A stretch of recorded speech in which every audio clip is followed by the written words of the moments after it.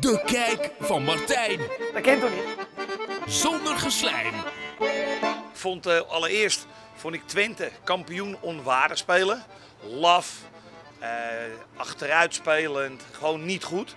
Eh, en Telstar eh, ja, verraste me positief. Ja, want je moet het ook een beetje in perspectief zien, toch? Want mensen, de, die internet warriors, die zeggen allemaal dat het een hele slechte wedstrijd was. Ah, Thomas, het zijn van die azijnzeikers. Je moet onthouden, Twente die heeft alleen al een schuld. Dat zijn 6, 7 begrotingen van Telstar elk jaar. En eh, er zit 25, 26, 27.000 man. Nou, bij Telstar zitten we nog niet op 10%. En eh, ik heb altijd geleerd dat iedereen met knik in de knie in Enschede gaat. Maar volgens mij stonden die tukkers met knik in de knieën op de Telstar boys te wachten. Of zie ik dat verkeerd? De lonen bijvoorbeeld bij Telstar, die, dat- die vallen niet te vergelijken met die in Enschede. Ik heb gehoord, Thomas, ik heb gehoord uit betrouwbare bron dat Kevin Van Essen als door twee keer zoveel verdient als de best verdienende speler bij Telstar. Dus dat zegt genoeg, toch?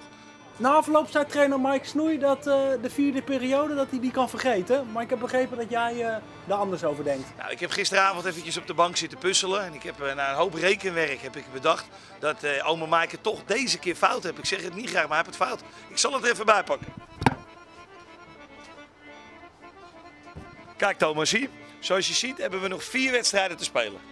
Volgende week Almere City Telstar. Dat wordt gewoon eh, een overwinning voor Telstar. Vullen we een 2 in voor de Telstar wint en een uitslag 1-3. Telstar Rode JC. Vullen wij in een 1. Want Telstar wint met 2-0. De week daarna, de Vissersderby. Nou, die jongetjes uit Volendam, ik weet niet wat ze doen, maar het is niet best. Sorry eh, Volendamse vrienden van me, maar eh, we blazen jullie dit jaar omver. Net als vorig jaar stonden ze geloof ik met 4-0 voor. Met, na 30 minuten. Nou, dat wordt nu de uitslag, einduitslag. Dus wederom een 1. 4-0. En dan ja, een jong elftal Thomas, daar zijn wij niet gek op. Kijk het maar terug in de uitzendingen wat we erin gezet hebben. Ook een 1. 2-1. Dus als ik dat zo zie, dan hebben we 4 keer 3 is 12 punten. Dus al mochten we de periode niet winnen, dan gaan we gewoon op, eh, op plaats door naar de na-competitie. Dus oma Mike, sorry, maar je hebt het fout. Daar kennen we wel wat mee.